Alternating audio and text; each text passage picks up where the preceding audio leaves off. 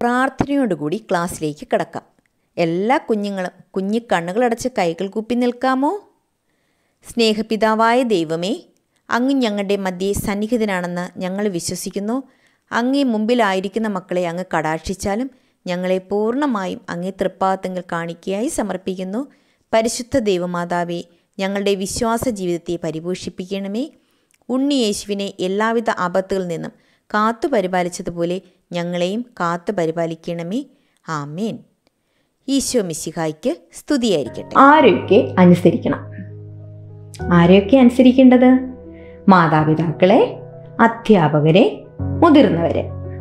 അല്ലേ? എല്ലാവരും അനുസരണയുള്ള കുട്ടികളാണെന്ന് ടീച്ചറിന് അറിയാം. എന്നാലും ടീച്ചർ ഒന്ന് പറയുന്നുവെന്നേ ഉള്ളൂ.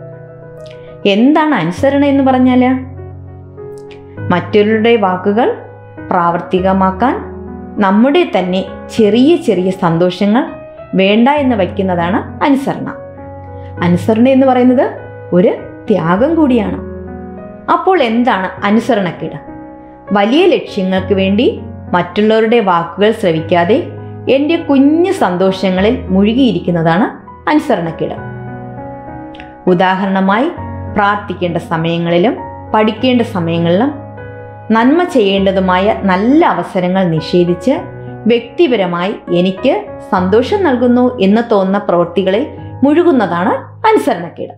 പ്രാർത്ഥിക്കാൻ വിളിച്ചാൽ മൊബൈലിൽ കളിക്കുക. വഴക്ക് കൂടണ്ട എന്ന് പറഞ്ഞാലും അതൊന്നും വകവയ്ക്കാതെ കൊച്ചു നമ്മുടെ ഇളയ അനുജനും അനുജത്തിയോടൊക്കെ നമ്മൾ വഴക്കിടുവല്ലേ? അതൊക്കെ അനുസരണയാണോ? അല്ല അനുസരണക്കേടാണതല്ല. അനുസരണം പ്രാവർത്തികമാക്കുന്ന കുട്ടികൾ ജീവിതത്തിൽ ഉന്നത വിജയം കൈവരിക്കും. അനുസരണം നഷ്ടപ്പെടുന്ന സാഹചര്യങ്ങൾ എപ്പോഴൊക്കെയാണ്? ഫോണിന്റെ ഉപയോഗം ശരിക്കുള്ള ഉപയോഗമാണോ? അല്ല ദുരുപയോഗം. പിന്നെയോ കുടുംബം ഒരുമിച്ചിരിക്കുന്ന സമയത്ത് അതുപോലെ ഭക്ഷണം കഴിക്കുന്ന സമയത്ത് പ്രാർത്ഥിക്കുന്ന സമയത്തൊക്കെ മൊബൈലിൽ കളിക്കുന്നതല്ലേ? അനാവശ്യമായി നിർബന്ധം പിടിക്കൽ എത്ര മാതാപിതാക്കൾ ചെയ്യണ്ട എന്ന് പറഞ്ഞാലും അതെല്ലാം നമ്മൾ ചെയ്തുകൊണ്ടേയിരിക്കും. കുഞ്ഞുങ്ങൾ എത്ര വലുതായാലും മാതാപിതാക്കളെ അനുസരിക്കേണ്ടതും ബഹുമാനിക്കേണ്ടതും അവരുടെ കടമയാണ്. അനുസരണയും ബഹുമാനവും വളരെയേറെ ബന്ധപ്പെട്ടിരിക്കുന്നു. ബന്ധങ്ങൾക്ക് ആഴമില്ലാത്തത് കൊണ്ടാണ് അനുസരണയും ബഹുമാനവും ഒക്കെ ഇന്ന് അന്യം നിന്ന് പോകുന്നത്. ഈശോ ദൈവമായിരുന്നു.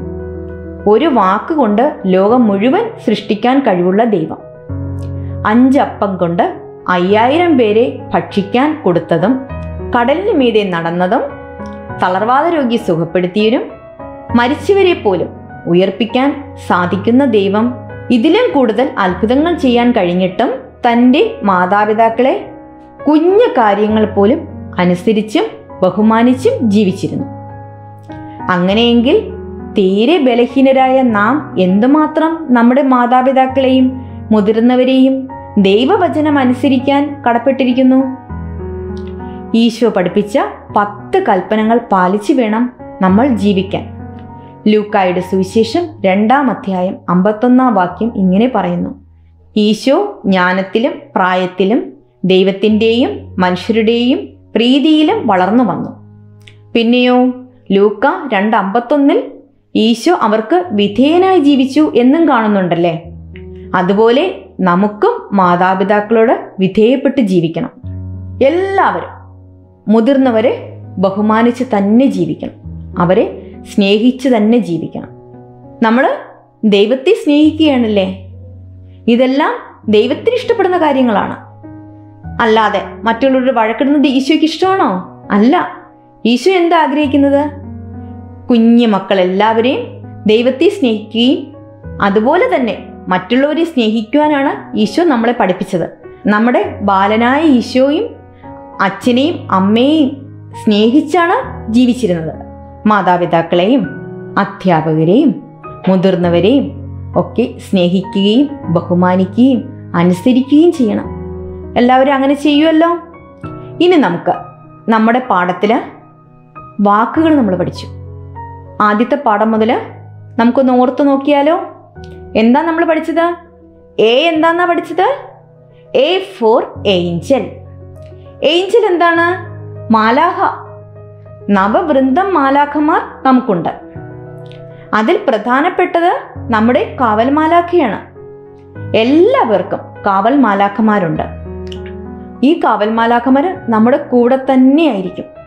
ബൈബിളിൽ പ്രധാനമായും റാഫേൽ മിഖായൽ ഗബ്രിയേൽ എന്നീ മാലാഖമാരെ നമ്മൾ കണ്ടുമുട്ടുന്നുണ്ട്.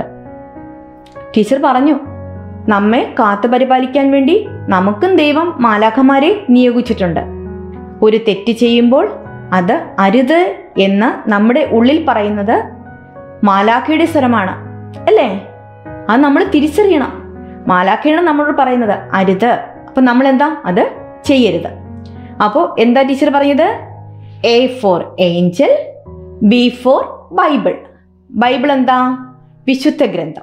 വിശുദ്ധ ഗ്രന്ഥം എല്ലാവർക്കും അറിയാവുന്നതാണ് അല്ലേ? ബൈബിൾ എല്ലാവരും കണ്ടിട്ടുണ്ടല്ലോ? നമ്മളെല്ലാവരും വീടുകളിൽ വായിക്കാറുണ്ടല്ലേ? എപ്പോഴും നമ്മൾ വീട്ടിൽ ബൈബിൾ വായിക്കും. സ്കൂളിൽ പോകുന്ന സമയത്തൊക്കെ ബൈബിൾ വായിച്ചിട്ടല്ലേ എല്ലാവരും പോവുക? വായിക്കാൻ അറിയുന്നവരെന്ത് ചെയ്യണം? ദൈവവചനം വായിക്കണം.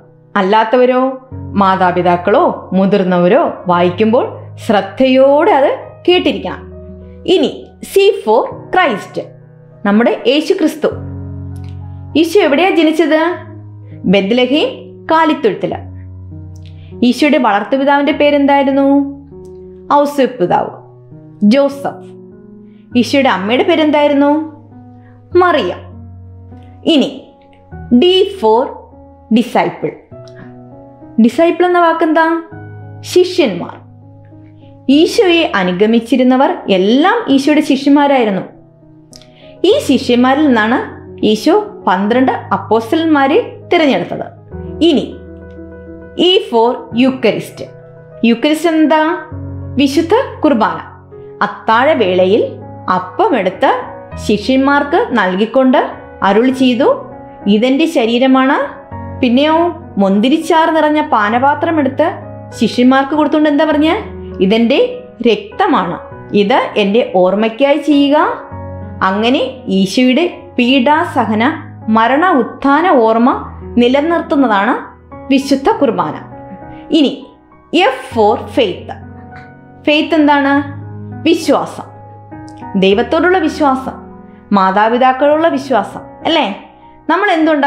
കെ ടി എസ് ക്ലാസ്സിൽ ഇരിക്കുന്നത്? നമ്മുടെ വിശ്വാസം കൊണ്ടാണല്ലേ?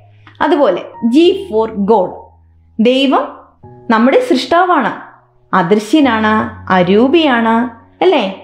ഏതൻ തോട്ടത്തിൽ ആരാ സൃഷ്ടിച്ചത്? നമ്മുടെ ദൈവമല്ലേ. നമ്മൾ ഏതൻ തോട്ടത്തിന്റെ കഥയൊക്കെ നമ്മൾ പഠിച്ചിട്ടുണ്ട്. ഇനി H for holy spirit holy spirit എന്താണ്? പരിശുദ്ധാത്മാവ്. പരിശുദ്ധാത്മാവ് ഏതൊക്കെ രൂപത്തിലാണ് വരുന്നത്? പ്രാവിന്റെ രൂപത്തിലുണ്ടാവും അഗ്നിയുടെ രൂപത്തിലുണ്ടാവും അല്ലേ? പിന്നെയോ എ ഫോർ ഇൻകാറിനേഷൻ മനുഷ്യാവതാരം. മനുഷ്യൻ പാപം ചെയ്ത് സാത്താന്റെ പിടിയിൽ വീണു. വീണ്ടും ദൈവത്തിങ്കിലേക്ക് അടുപ്പിക്കാൻ വേണ്ടി മനുഷ്യാവതാരം ചെയ്തു. ഈശോ ജനിക്കുകയുണ്ടായി അല്ലേ? ഏതെൻ തോട്ടത്തിൽ നിന്ന് ആദത്തെ ഹെവിയും പുറത്താക്കുമ്പോൾ ദൈവം അവർക്കൊരു വാഗ്ദാനം കൊടുക്കുന്നുണ്ട്. എന്താണ്? ഒരു രക്ഷകനെ നൽകാമെന്ന്. ആ രക്ഷകനാണ് ഈശോ. ഈശോ മനുഷ്യാവതാരം ചെയ്തു. ജെ ഫോർ ജീസസ് ജീസസിനെ കുറിച്ച് നമ്മൾ പറഞ്ഞുകൊണ്ടിരിക്കുന്നല്ലേ പിന്നെയോ കെ ഫോർ കിങ് ക്രിസ്തു രാജൻ. ക്രിസ്തു രാജാക്കന്മാരുടെ രാജാവാണ്. നാം പോയിട്ടുള്ള വെട്ടുകാട് പള്ളിയിൽ ക്രിസ്തുരാജന്റെ ഓർമ്മ നിലനിർത്തുന്ന കുരിശിടി സ്ഥാപിച്ചിട്ടുണ്ട്. എല്ലാവരും പോയിട്ടുണ്ടാവുമല്ലോ വെട്ടുകാട് പള്ളിയിൽ സർവലോകത്തിനും രാജാവായി ജനിച്ചവനാണല്ലേ? അപ്പോൾ നമുക്ക് എല്ലാം ഒന്നുകൂടെ പറഞ്ഞു നോക്കിയാലോ. A for angel B for Bible C for Christ D for disciple E for Eucharist F for faith G for God H for holy spirit I for incarnation J for Jesus K for king നമ്മൾ A മുതൽ K വരെയുള്ള വാക്കുകൾ നമ്മൾ പഠിച്ചു. എല്ലാവർക്കും ഓർമ്മ കാണുമെന്ന് teacher അറിയാം. ഇന്ന് നമ്മൾ പഠിച്ച പുതിയ വാക്കാണ് കിങ് കെ ഫോർ കിങ് അപ്പൊ നമുക്ക് എ മുതൽ കെ വരെ ഒന്നുകൂടെ പറഞ്ഞു നോക്കിയാലോ? A for angel B for Bible C for Christ D for disciple E for Eucharist F for faith G for God H for holy spirit I for Incarnation, J for Jesus K for king ആരും മറന്നു പോരുത് ഇതിന്റെ ബാക്കി വാക്കുകൾ നമ്മൾ അടുത്തുള്ള പാഠങ്ങളിൽ പഠിക്കുന്നതായിരിക്കും. എല്ലാ കുഞ്ഞുമക്കളും കുഞ്ഞിക്കണ്ണുകളടച്ച് കൈകൾ കൂപ്പി നിൽക്കാമോ? പരിശുദ്ധ കന്യകാമറിയത്തിലൂടെ ഈശോയെ നൽകിയ നല്ല ദൈവമേ ദൈവവിശ്വാസത്തിൽ ആഴമായി വളരുവാനും പരിശുദ്ധാത്മാവിനാൽ പ്രേരിതരായി നല്ല കുഞ്ഞായി തീരുവാനും ഉണ്ണി ഈശോയെപ്പോലെ ദൈവത്തിനും മാതാപിതാക്കൾക്കും പ്രിയമുള്ളവരായി തീരുവാനും ഞങ്ങളെ എല്ലാവരെയും അനുഗ്രഹിക്കണമേ. ആമേൻ. താങ്ക്